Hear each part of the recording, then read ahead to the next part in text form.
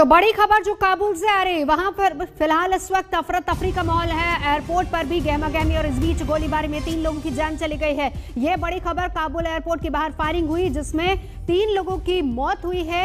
इस बीच भारत से काबुल जाने वाली स्पेशल फ़्लाइट को भी रद्द कर दिया गया है। तीन फ़्लाइट थी, जिसमें एक को साढ़े बारह बजे उड़ान भरना था, दो को स्टैंड बाय के लिए रखा गया था। लेकिन फ़िलहाल तमाम फ्लाइट्स को रद्द कर दिया गया है। काबुल एयरपोर्ट से आने जाने वाली सारी उड़ानें रद्द कर दी गई हैं।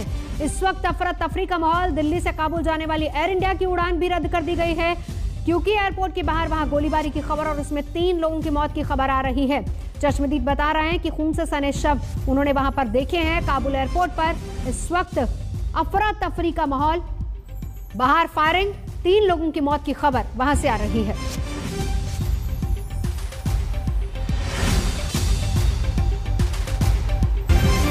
दिल्ली से फ़्लाइट जानी थी।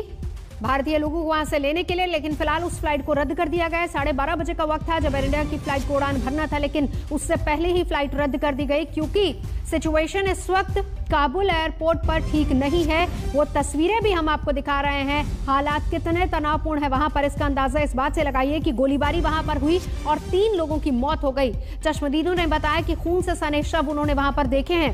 काबुल एयरपोर्ट के बाहर फायरिंग और जिसमें तीन लोगों की मौत हो गई। इस बीच डरे सहमे लोग लगातार काबुल छोड़ रहे हैं और सड़कों की जो तस्वीरें सामने आ रही हैं, वो ये कि तालिबान के लड़ाके हर गाड़ी की चेकिंग कर रहे हैं। आने जाने वाली हर गाड़ी की चेकिंग हो रही है। फ़िलहाल काबुल एयरपोर्ट पर तमाम उड़ानों को रद्द कर दिया गया है। आने जाने वाली सारी फ्लाइट्स रद्द कर दी गई हैं।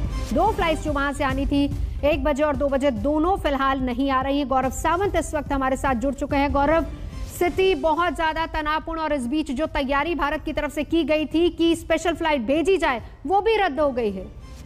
जी हाँ इस समय काबुल के ऊपर जो एयर स्पेस है, उसको सील कर दिया गया है। बहुत तनावपूर्ण स्थिति है। गोली चलने की भी खबर आ रही है। जो अफ़गानिस्तान के लोग हैं जिनको डर लग रहा है कि तालिबान राज में उनके साथ बहुत अत्याचार होगा वो छोड़ छोड़कर देश भागने का प्रयास कर रहे हैं और कोई एडमिनिस्ट्रेशन कंट्रोल करने के लिए समय स्थिति में नहीं है। ऐसे में एयर स्पेस को बंद करने की नौबत आ गई है। कई एम्बेसडर अमेरिका के एम्बेसडर हो ब्रिटेन के एम्बेसडर हो, कई और देशों के एम्बेसडर वो अफ़गानिस्तान छोड़ के अपना मिशन बंद करके या डाउन स्केल करके जा रहे हैं। भारत का मिशन अभी भी चल रहा है, लेकिन कम संख्या में अभी भी मिशन चल रहा है, लेकिन अफ़गानिस्तान की स्थिति नवजोत इस समय बेहद तनावपूर्ण है।